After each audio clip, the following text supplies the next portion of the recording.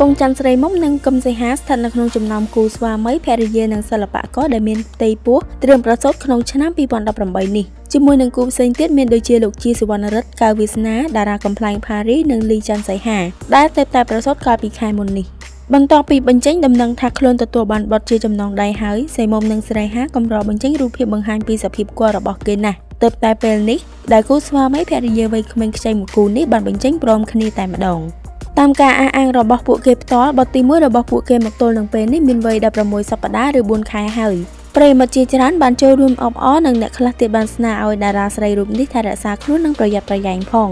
សីហានិងស្រីមុំធ្លាប់អះអាងថាពួកគេចង់បានបទដល់ទៅ4នាក់ឯណោះក្រោយស្រឡាញ់គ្នាអស់រយៈពេល8ឆ្នាំគង់ច័ន្ទស្រីមុំនិងគឹមសីហាបានចូលរោងជ័យក្រាបផ្ទឹមខ្លាយជាស្វាមីភរិយាជាមួយគ្នាតាមប្រពៃណីកាលពីថ្ងៃទី15ខែមិនិនាឆ្នាំ2016យ៉ាងអធិកអធម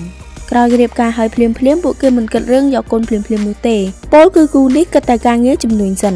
តាមព័ត៌មានពួកគេមានចំនួនជាច្រើននៅក្នុងដៃដូចជាភោជនីយដ្ឋាននិងក្លឹបកំសាន្តបតំអាប់ហាងលក់សម្លៀកបំពាក់ម៉ូម៉ូជាដើមរួមទាំងចាយចាយទាំងអស់ដែលប្រើពាណិជ្ជនាមផ្ទាល់ខ្លួននាំចូលផ្ដាច់មុខពីប្រទេសហូឡង់ទៀតផងបើចូលចិត្តកុំភ្លេចចុច like និង share ឬចុចលើប៊ូតុង See First ដើម្បីទទួលព័ត៌មានថ្មីៗ